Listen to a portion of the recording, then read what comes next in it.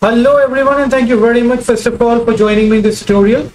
So in this lecture we are going to talk about this amazing real-time voice translator application which has been built on Python. Okay, so this is the Python code which you're seeing over here and that's what has been used for creating this amazing desktop real-time voice translator application. Now how it works, let's first see that and after that I'm going to tell you the things which have been used in the backend. And don't worry about the code, it will be shared in the comment section below. Right, so there is a button uh, says start translation. But before I do that, I need to set up the input and output language. So I will set it as English, right? And this output language, I would like to have Chinese over here. Okay, let's start translating English to Chinese. So let's see how this application will help us in doing it. Hello everyone and thank you very much for joining me this tutorial.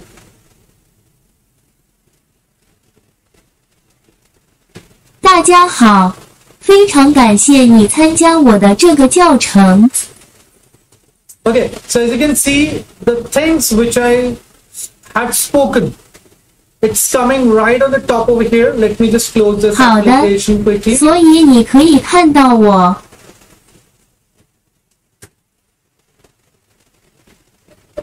So the things which I spoken, you know, they are coming on the top and the translated text is coming over here.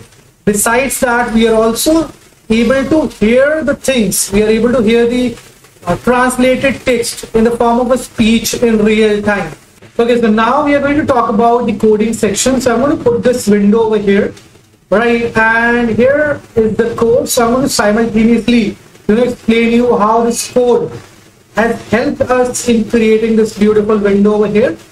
Let me close this. Okay, now it is perfectly fine.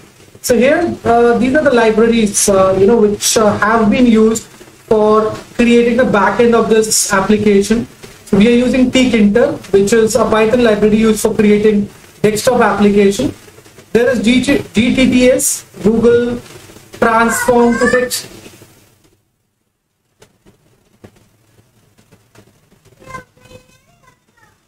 अभी रुक जाओ अपन video shoot कर ले फिर करना Then we have this GTTS, uh, Google text to speech translation. uh, then we have the speech recognition in place. We have play sound for playing the voice, uh, you know, the MP3 that will get created when the user will speak something. We are using deep translator, okay, and we are using transliteration also. Okay, now with the help of uh, this, we have created a window. Okay, TK is for tkinter. So this is how you can create a window, and then we have created, uh, we have defined a size for our window. So when you open the application, will not see it as big as you're seeing right now. It will be of this size, but you can make it large like this. Okay, there is maximize button, there is minimize button, there is cross button also on the top and then we have this uh, recognize text how it is coming here so we have defined this tk.label so this is a class with the help of which you can create a text kind of a thing and then when you do a pack so what what happens is it gets packed this text gets packed with this windows instance okay? And you start seeing it on the tkinter application. Same thing we have done for the text area also. So for the text area, we have used this function called text to which we have passed this window instance and we have uh, defined the height and width also of this text area. And then we have finally packed it with the window. Okay, so that is how we have created this recognized text and this text area. Now, same thing we have done for this part also. So we have this output label. So here we can see we'll see the output text okay so if we are doing english to chinese so the chinese text gets visible to us over here right you have you have seen it in the beginning then we have created a space in between so this space is coming from here So whatever you are creating, just pack it with the Windows instance. That's it. We have a dictionary in place where we have some key value pairs of all the types of languages that we want to see in these drop downs over here. Okay, we have created a list out of this uh, dictionary. Okay, we have we are calling the keys. So this is key value pair. We are calling the keys of this dictionary, and we are listing down uh, everything in this list over here right and then we have again this text select input language we have this combo box in place so this drop down here is coming from this combo box again we have passed this windows instance as a parameter and the language names which contain the names of all the languages as a parameter to this combo box okay we have a function named update input language code which we will be calling when the event, when this event will take place. Now, when will this event take place? Whenever the user will select any language. Okay, if we select Spanish, so this is Spanish will this event will take place. An event has taken place, which will help us in executing, which will help the interpreter in executing this update input language code.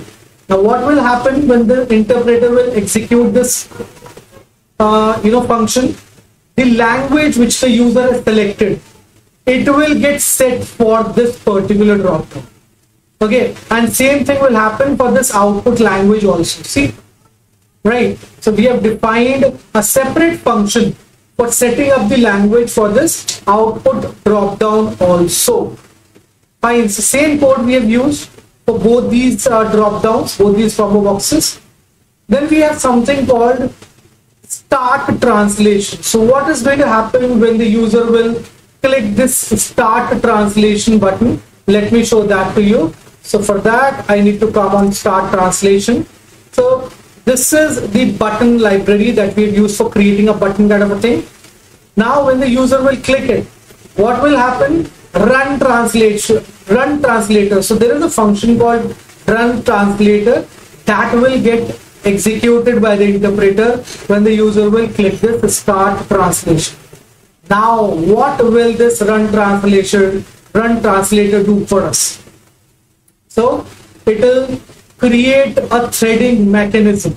Okay, and then that thread will execute this update transition translation. Sorry, right now, what is this update translation? So we have a function here which will tell the user to speak. Okay, let me just show it to you once. Okay, let's do it afterwards because that will create an issue then. Okay, so we'll see this speak now thing over here. Right, the moment user click that start translation button and then recognize Google. The Google library will start recognizing the audio if it is not in English, it will try to recognize the audio based on the language the user has selected. Okay, and then speech text transliteration will take place. Right, whatever the user will speak, it will get converted into text. Okay, and finally we'll store the text into this translated text named variable okay and then what we'll do we'll take the output language we'll convert this translated text into that output language and we'll store it in the form of an mp3 file which will get played live so that the user will be able to hear it live after the conversion has taken place. Okay? And then finally what we'll do we'll convert the translated speech into text. Okay? And we'll insert it into the output text area. So that's what this function will be doing. Fine. I hope you guys have understood it if suppose now the user want to kill the execution he just have to click the kill execution button you know this button and the user will be able to stop the application from translating things. Okay, so this is how the application has been created. That's what we have used for creating this application, for making it work so that it can help us in translating different types of languages in real time in different types of languages. Okay, I hope you guys have understood it. Let me just show you the function of this application again. So I'm going to first stop it or else let's just stop it from here close the terminal. Here i'm going to delete this voice mp3 file. Let's come on view. Let's come on terminal. And here we're going to run this application.